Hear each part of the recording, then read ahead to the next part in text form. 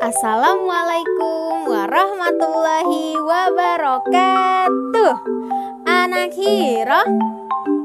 Anak hero. Hero hebat Islami Rajin Optimis Apa kabarnya pagi hari ini teman-teman? Jawabnya Alhamdulillah Luar biasa Tetap semangat Tetap ceria Allahu Akbar Teman-teman, ada yang tahu hari ini kita akan belajar tentang apa? Ya, belajar tentang pembelajaran pendidikan agama Islam terpadu atau biasa disingkat PAI.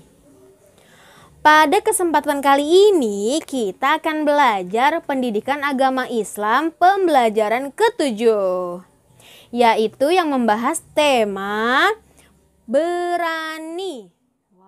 Sebelum kita memulai pembelajaran pada pagi hari ini, ada baiknya kita berdoa.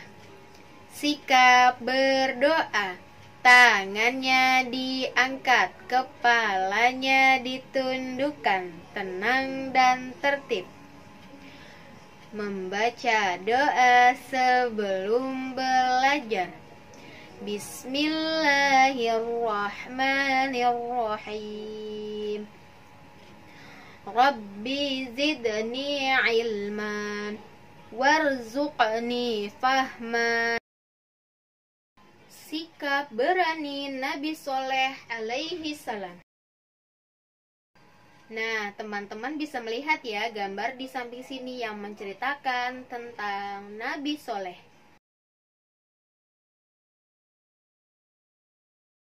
Nabi Soleh diutus kepada kaum Samud.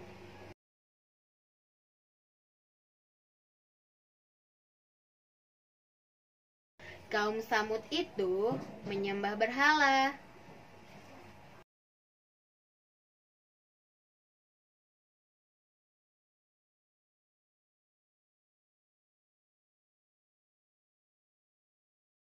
kaum Samud menolak ajakan Nabi Soleh untuk menyembah Allah.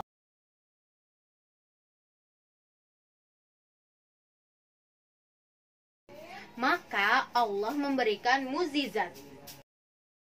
Seekor unta yang tidak pernah kering air susunya. Nah, melihat muzizat unta yang diberikan oleh Allah, mereka bukannya berpikir dan bertaubat, justru mereka tambah kesal, tambah marah kepada Nabi Soleh, bahkan mereka membunuh unta Nabi Soleh.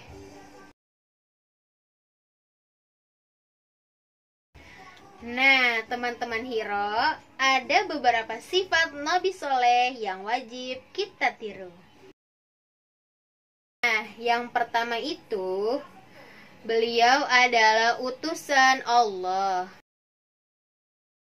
Beliau mengajak umatnya untuk menyembah Allah. Yang kedua, Nabi Soleh alaihi salam berani memimpin dan menyelesaikan masalah umatnya dengan baik. Dan yang ketiga, setiap masalah diselesaikan dengan musyawarah. Alhamdulillah, pembelajaran kita sudah selesai.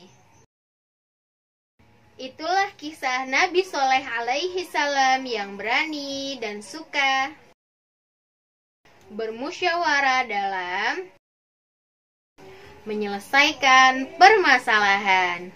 Wassalamualaikum warahmatullahi wabarakatuh.